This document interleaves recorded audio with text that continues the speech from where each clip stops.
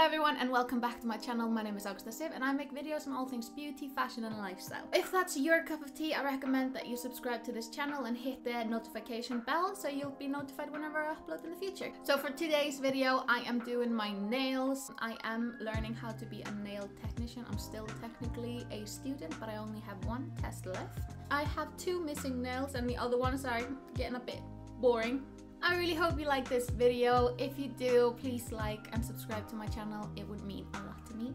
Without further ado, let's do my nails.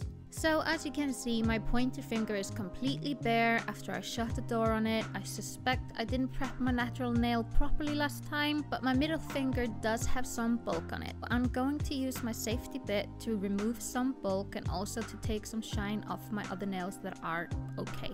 This bit cannot be used on the natural nail and I am avoiding my pointer finger because of that reason. It will remove way too many keratin layers and really damage your nail so only use it on artificial product. Once I've removed some product, I'm pushing up my cuticles and then I use Magnetics Prep and Wipe to clean and disinfect the area. I'm using my prep nail bit to remove any shine and dead tissue from a nail plate. This bit is fine enough to be used on that one naked nail of mine. If you only go over each area one time, it won't damage your natural nail at all. I remove any hard cuticle and hang nails with scissors, making sure not to cut any healthy living tissue. I like to use nail forms, so to prep them for application, I roll them a little between my fingers and then I make sure that they are straight while I close them. Using Magnetics Bond on all of my nails. Bond is basically like a primer, but it isn't. It does improve adhesion, but it's not as harsh as a primer, if that makes any sense. I'm going to use Magnetics Standard Clear Builder Gel to build my nails today. I am doing color on top, so there won't be any issues with that. So I start with a thin base layer, making sure to rub it in really well. Then I cure that layer for one and a half minutes. Then I get a good dollop on my brush and start building my free edge.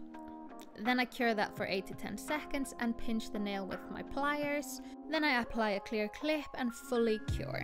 I do the exact same thing with the other nail I built. Since the other nails are still intact with no air or damages, I'm just going to do a light infill using the magnetic building base cover, just using a little dollop to build the apex in the correct place and cure for one and a half minutes. I had a really hard time filming when I was filing. I hope you can see somewhat what I'm doing. I file my side walls first, then the free edge, and finally I do my top.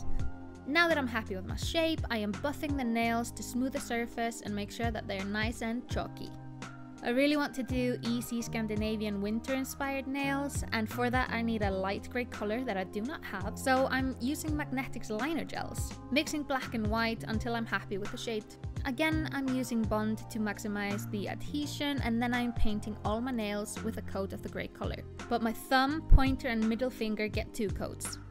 I'm going to use Ugly Duckling's gel polish in 103, which is like a fine silver glitter polish, to paint my ring finger and pinky.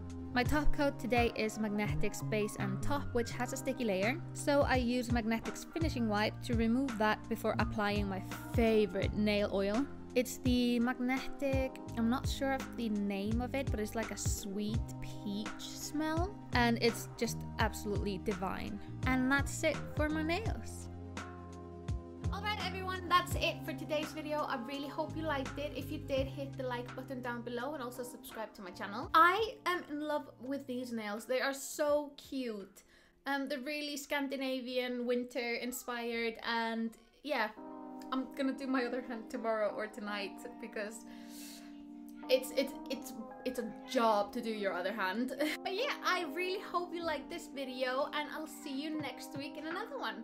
Until then, bye!